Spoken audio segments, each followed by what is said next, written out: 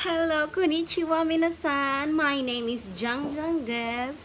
Hello, hello sa lahat. So, sa mga bago pa dito, don't forget to subscribe and like my videos. And also, please click that notification bell so that you will be updated for my latest and upcoming videos. So, ako pala ay isang ako pala ay isang struggling na vlogger. Bago pa lang po ako. So, nagbabaka sakali na kumita naman na sa YouTube kahit papaano. Kahit na hindi ako masyadong kagandahan. Tsaka, hayaan nyo na. So, pagbasensyahan nyo na. Tapos, maraming maraming salamat pala kay sa aking mga kapamilya na si na vlogger din na si Bursary Boloron at si Mark Zenop Life. Salamat po sa inyong suporta sa akin. Kayo ang mga idols ko dito kaya ako gumawa din ng mga videos pareha ninyo. Kagaya ninyo. So ako naman ngayon, hindi ako na... Oh, tapos na ako. ano, nag na out of words ako eh. So, yun pala mga mga darling. So, disclaimer pala sa lahat ng aking mga sinasabi sa aking mga videos. I'm not an ex I'm not an expert on everything. So, ang mga pinagsasabi ko at mga tips sa inyo ay magbase lang sa aking mga experiences in life. So, ngayon, habang wala pa akong trabaho, nabuboard ako palagi. So, ngayon, nag-vlog na ako. Parang nai-inspired ako araw-araw. Tapos, gumagana na yung utak ko, nag-iisip ako kung anong itatitle ko, ano ang ano ang mga sasabihin ko, ano namang content, ganun ganon. So, so, tingka. So, ngayon, so isi-share ko pala sa inyo muna, happy Sunday pala sa lahat. So, isi-share ko sa inyo kung ano yung learnings na nakuha ko sa pagsisimba. So, nagsimba pala kami ng 5.30 a.m. Inaantok na nga ako eh. Matutulog na ako ngayon. Matutulog muna ako mamaya. Kasi na, matagal ako nakatulog kagabi. Ang lakas ng hangin dito. Ilang araw na. Ang lakas-lakas. Mga past 12 na yata ako nakatulog kagabi. Tapos, uminom pa ako ng kape kasi sobrang busog ko. Dahil doon sa sweet corn na dinala ng aking kasamahan. So, may video pala ako doon na yung unique uh, unique corn na nakita ko first time ko din nakain ng sarap-sarap. So sana panoorin niyo din yung videos namin. Ang saya-saya namin kahit wala kaming mga trabaho. So yun sabi ng pare, sabi ng pare kanina na ano daw, make a virtue as a habit. So meaning so meaning gumawa ka daw ng buti over and over ng mabuti over and over again para maging habit mo na yun. So, yun daw. Make virtue as a habit. So, yan ang learnings ko. Yan ang natutunan ko sa simbahan, sa ano kanina, sa simbahan. By the way, I'm a Catholic, Roman Catholic pala. So, yun. Anong oras na ba ngayon? Magna 9 o'clock na. Mga natapos yung mass kanina, mga almost 7 plus na. Tapos pagdating namin, nagmamadali akong nag, nagluto kasi yung asawa ko, malis na yung asawa ko pala ako na lang mag-isa ngayon. Malis na siya, may deliver sila ng simento. So, mga kapamilya, mga kapuso, mga darling, yun lang. Yun lang sasabihin ko ngayon, siguro. Hindi pala, mag-aano ako ngayon magbibigay ako sa inyo, ipapakita ko pala sa ipapakita ko pala sa inyo yung nabili ko kahapon, Saturday. So nakabili ako ng mga items. Pumunta ako kasi nag-iisip ako ng anong pwede kong mapag mapag anong So, nag-iisip ako ng anong pwede kong ma, ma ano ba yung Tagalog? Basta makakuha ako ng maka-earn maka-earn ako ng pera. So, ang ginawa ko habang naghihintay ako sa aking asawa ay meron kasing butik doon na malapit sa Rizan.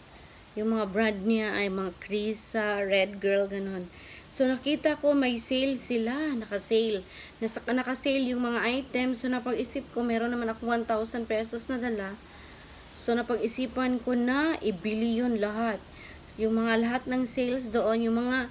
Pero ang pinipili ko lang yung mga nagugustuhan ko na damit na mga blouses pala yung binili ko. Kasi kung sakaling hindi man siya hindi ko man siya mabenta masusuot ko pa rin siya.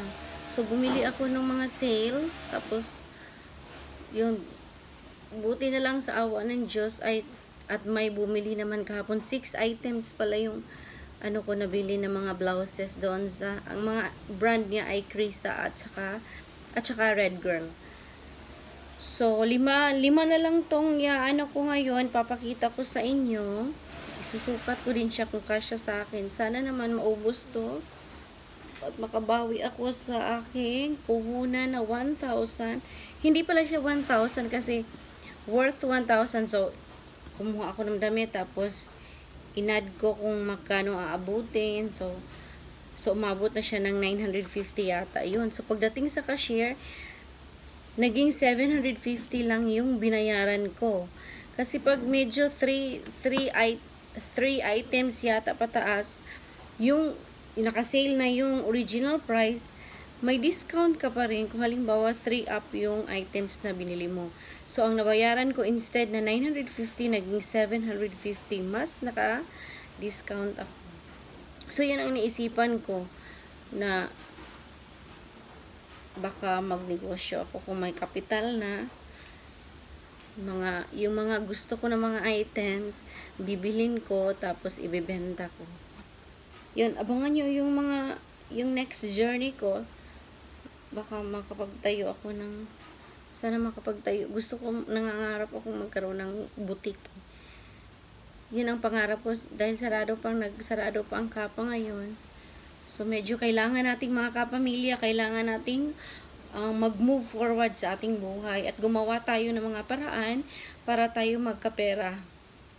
Kahit na hopeless na, naging hopeless na kasi ang buhay ko. Tapos, yun, nagpray ako kay Lord na kaida naman ako. Yun, nakita ko yung baka mag-vlog-vlog, so baka sakali. So, supportahan nyo ko.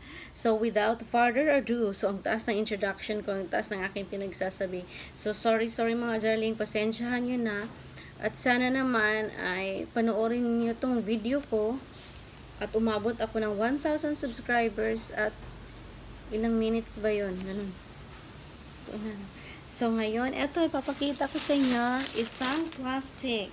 So, worth 750 pesos only for 6 items. So, naubos na yung isa na bili na kahapon. So, isusukat ko. It's so. So, first, eto. Ayan. So, ang brand nito ay Red Girl. So, yung Red Girl at Krisa ay mga affordable doon makakabili ka ng nakakamura ka doon tsaka maganda-ganda din yung quality niya. 'Di ba? So, ito binili ko to, naka, ang laki ng discount ko nito. Hindi pa siya, no, no. Bumili naman kayo nito. Para siyang blouse na mahaba, pwede siya mag, kung magle-leggings ka. Maganda to pag naka-leggings. So, isusukat ko mga langga, ha?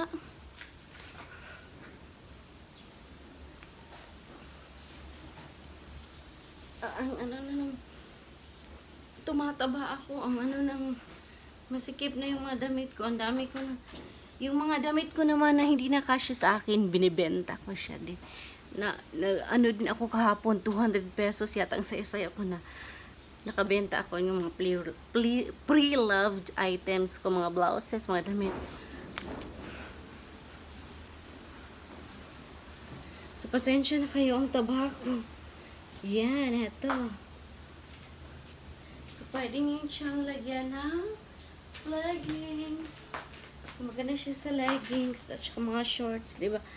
Ito, ibibenta ko to. So, yung mga binibili ko ng mga items, yung gusto ko, gusto ko ng mga flowers.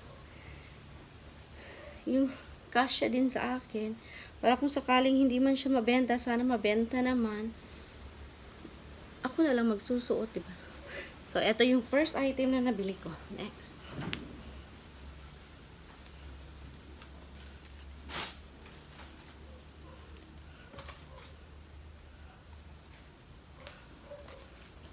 Pasensya na kayo, hindi pa ako nag-ending. Please bear with me, guys. Second item, same design shot, iba lang yung iba lang yung kulay niya. Yan ang second item.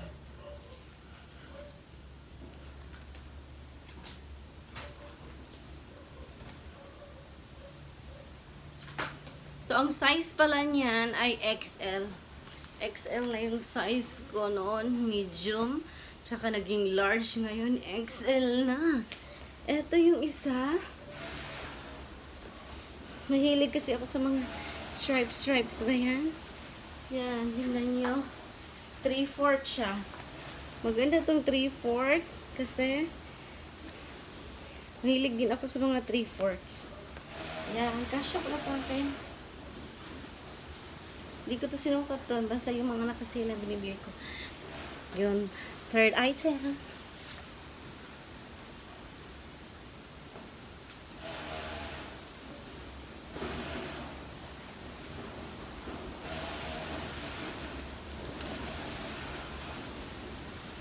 So, ito yung fourth item. Black. Na may bulaklak. Ting- Tingnan nyo. Di ba ang ganda? Eto, comfortable ako nito. Parang gusto ko to, pero bibenta ko to. Ito, hindi masikip sa akin. Gusto, kasi ngayon, gusto ko yung mga komportable ako. Ay, ayoko nung parang, ayoko nung parang naaano ako. Parang naging suman. Parang hindi ako makagalaw. Pero yung iba, sinusuot ko na lang. Sayang din naman, kasya pa.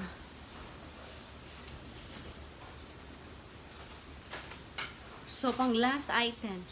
Ito yung pang last item ko. Tcharan! Green na may stripe pa rin. Style. Kasya din sa akin. Yan, kasya din sa akin.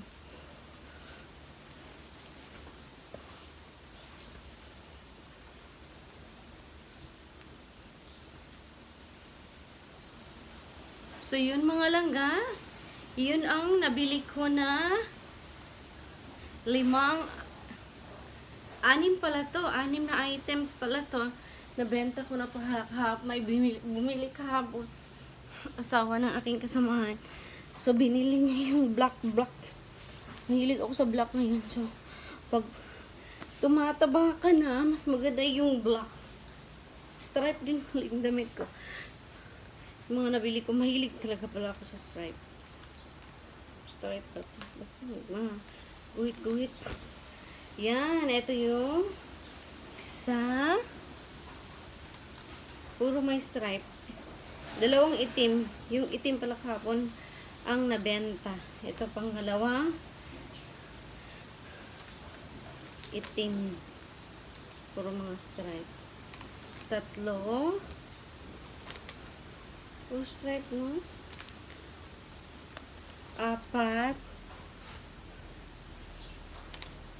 Lima. So, anim to. Nabenta na. Yun, paulit-ulit ako.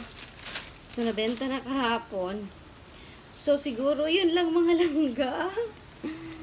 Ay, naku, nahihiya din ako sa akin pinagagawa. Pero, kailangan ko talagang magsikap habang nasa bahay. So, inaantok ako. May, kap may kape nga ako eh. Hindi ko pa nainom. So, yun lang mga langga. Parang ang haba na. Ewan ko kung mapapanood nyo pa to. Hindi kayo maboard. Sana panoorin nyo naman. So, yan lang mga langga. So, yan ang blouses haul natin ngayon. Ang title ko nito, siguro, um, blouses haul yata. Blouses haul. Makamura. Anong gagawin ng mga kapamembers ganun? Iisipan ko pa, papanoorin ko pa to. So, yan lang mga darling, darling. Thank you so much. Please support me, everybody. Please. Ay, nagluloko-lokohan lang tayo. Ako, ako. So, yun lang mga langga. Ano yung last na sasabihin ko? So, always remember that you are great just like everyone else. Thank you and goodbye. See you on my next vlog. Mag-iisip ako ano kung anong gagawin ko. So you comment down below kung anong gusto niyong gawin ko. Salamat. Bye-bye.